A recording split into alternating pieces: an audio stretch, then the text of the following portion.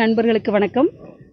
இன்னைக்கு பார்த்தீங்கன்னா திராவிட அரசு அதாவது நம்முடைய தமிழக அரசு இன்னைக்கு எம்எல்ஏ வந்து ஒரு கேஸ் போட்டிருக்காங்க. அதில் வந்து ஐந்து பிரிவுகள் இருக்கு இல்லையா?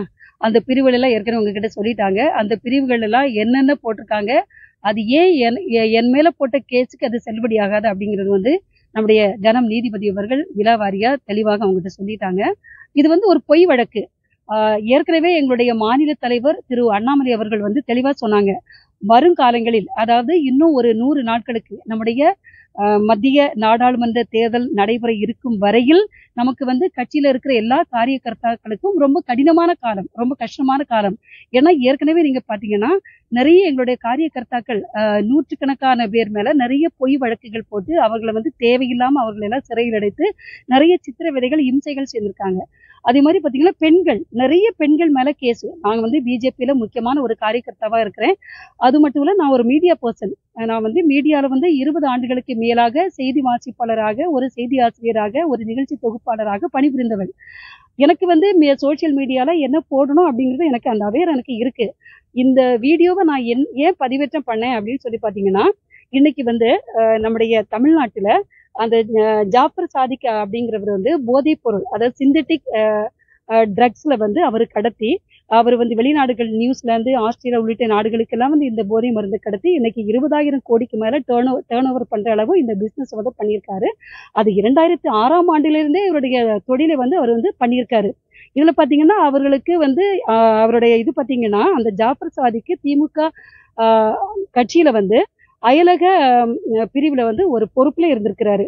ஸோ அந்த கட்சியில ஒரு பொறுப்புல இருந்துக்கிட்டு இவ்வளவு ஆயிரம் கோடிக்கு அதிகமான அளவுக்கு ஒரு போதை அது வந்து இந்த சிந்தட்டிக் ட்ரக்ஸ் அப்படி அதோட தாக்கம் எப்படி அது வந்து என்ன மாதிரி பின்விளைகளை ஏற்படுத்தும் அது மனித குலத்துக்கு எப்படிப்பட்ட பேரழிவு அப்படிங்கிறது வந்து எங்களுடைய மாநில தலைவர் திரு அண்ணாமலை அவர்கள் விலாவரியாக ஒரு வீடியோ போட்டாங்க.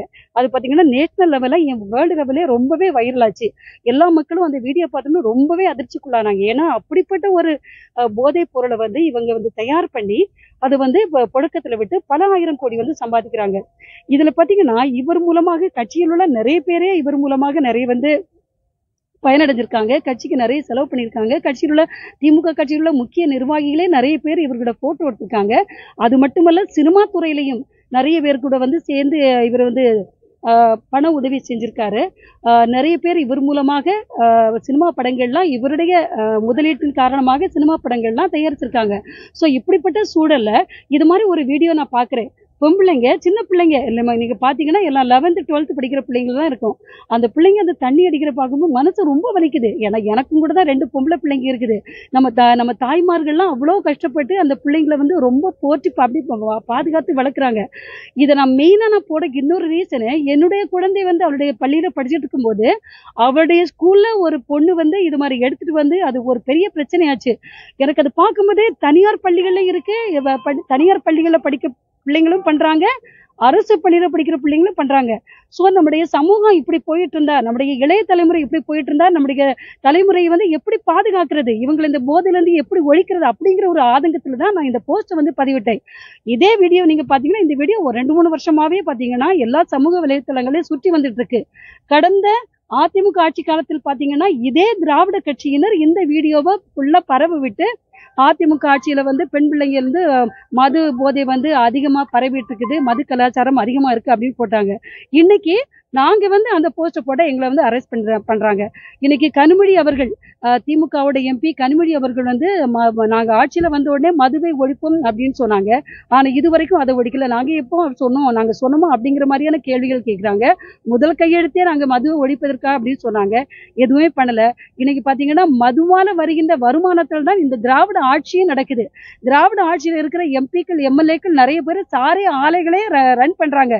எந்த எந்த ஸ்டேட்டில் நீங்க பார்த்தாலும் அரசு வந்து டாஸ்மாக் மது வந்து விற்காது நம்ம தமிழ்நாட்டில் தான் அந்த ஒரு கொடூரம் நடக்குது.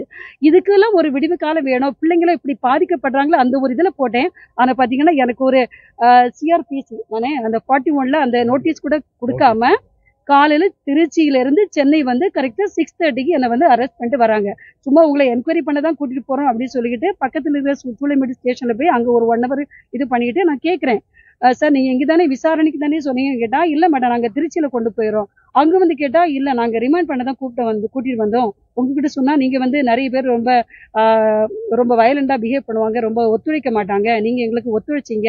அதனால உங்ககிட்ட எப்படி சொன்னோம் அப்படின்னு சொல்கிறாரு இதில் நீங்கள் பார்த்தீங்கன்னா இந்த இவங்க வந்து எம்எல்ஏ வந்து எழுதின கேஸ்கள் எல்லாமே போய் நிறைய பொய்யான தகவல்கள் போட்டு என்கிட்ட வந்து அதில் சைன் பண்ண சொல்றாங்கன்னா சைன் பண்ண மாட்டேன்னு சொல்லிட்டேன். அதுவும் ஜட்ஜ் வந்து சரமாரியாக நிறைய கேள்விகள் எழுப்பினாங்க. நான் சொல்றது என்னன்னா திராவிட மாடல் ஆட்சியில வந்து மக்களுக்கு கொஞ்சமாவது நிம்மதியா வாழணும். பெண்களுக்கு சுதந்திரமாக நடமாடணும். பெண் பிள்ளைகளுக்கு பாதுகாப்பு இருக்கணும். பெண்கள் தாலி அறுக்கக்கூடாது. நிம்மதியான ஆட்சியை முதல்வர் அவர்கள் கொடுக்க வேண்டும் என்ற கோரிக்கை முன்வைத்து இனிமேல் இந்த மது என்கிற அரக்கன் தமிழகத்தில் இருக்கக்கூடாது போதை என்கிற அரக்கன் தமிழகத்தில் இருக்கக்கூடாது தமிழகம் அமைதியான ஒரு பூங்காவாக தமிழகம் வாழ்வாங்க வாழ வேண்டும் அப்படின்னு நான் தமிழக முதல்வரை பணிவோடு கேட்டுக்கொள்கிறேன். நன்றி வணக்கம். இப்போ நான் வந்து அவங்க மே- அதாவது பொய் கேஸ் என் மேலே போட்டிருக்காங்க. நான் அவங்க மேலே கேஸ் போடுற போட போகிறேன் தண்ணி கொடுக்கல அப்படின்னு சொல்லி தண்ணி கொடுக்கல அப்படின்னா இப்போ வந்து நம்ம வந்து எல்லாருமே ஆஃப்டர் கொரோனா ரொம்ப சுகாதாரத்தை வந்து நம்ம கடைபிடிச்சிட்டு வரோம். இவங்க என்ன பண்றாங்கன்னா எனக்கு தண்ணி வேணும்னா ஒரு பாட்டில் வாங்கி கொடுத்துருக்கலாம். இவங்க ஒரு பாட்டில் அவங்க வச்சிருக்காங்க எல்லாருமே வாய் வச்சு குடிக்கிறாங்க. குடிச்சிட்டு அதை குடி குடி குடி அப்படி போஸ்ட் பண்ணாங்க. என்னால் அது குடிக்க முடியாது. கண்டிப்பாக என்னால் குடிக்க முடியாது. ஒரு பாட்டில் வாங்கி கொடுத்தா கொடுத்துருக்கலாம் அவங்க வந்து நாங்கள் சாப்பிட சொன்னால் சாப்பிட மாட்டேங்கிறீங்க தண்ணி கொடுத்தா குடிக்க மாட்டேங்கிறீங்க. நீங்கள் எங்களுக்கு கோஆப்ரேட் பண்ண மாட்டேங்கிறீங்க. நீங்கள் வந்து ஏன் இது மாதிரி அநியாயம் பண்ணுறீங்க அப்படின்னு சொல்லிட்டு அவங்க வந்து எங்கிட்ட வந்து நிறைய வந்து கேட்டாங்க. நீங்கள் ஏன் சாப்பிட மாட்டேங்கிறீங்க? எங்களை வந்து பிரச்சனையிலே மாட்டேங்கிறீங்க நாங்களும் உங்களை மாதிரி தான் எங்களை நாங்கள் வீட்டுக்கு போக வேணாமா? எங்களுக்கு ஏன் டார்ச்சர் கொடுக்குறீங்க? இப்படியெல்லாம் நிறைய வார்த்தைகளை விட்டாங்க. அதனால தான் என்னை வெர்பல் ஹராஸ்மெண்ட் பண்ணாங்க அப்படின்னு வந்து நான் வந்து ஜட்ஜையாக்கிட்ட நான் சொன்னேன் உத்தரவுல எப்போ சைன் பண்ணி என்கிட்ட வந்து ஆக்சுவலாக ரெண்டு வாரம் பண்ண முடியுமா அப்படின்னு கேட்டாங்க. நான் வந்து நான் சிங்கிள் மதர் என என்ன நம்பி ரெண்டு பெண் குழந்தைகள் இருக்காங்க அப்படின்னு சொன்னதுனால நீங்கள் வந்து வார ஒவ்வொரு வாரமும் திங்கட்கிழமை நான்கு திங்கட்கிழமை வந்து நீங்கள் வந்து சைன் பண்ணணும் அப்படின்னு சொல்லியிருக்காங்க. நான் சரி சொல்லியிருக்கேன். அதோட இது முடிச்சுட்டாங்க பெயில் கொடுத்துட்டாங்க.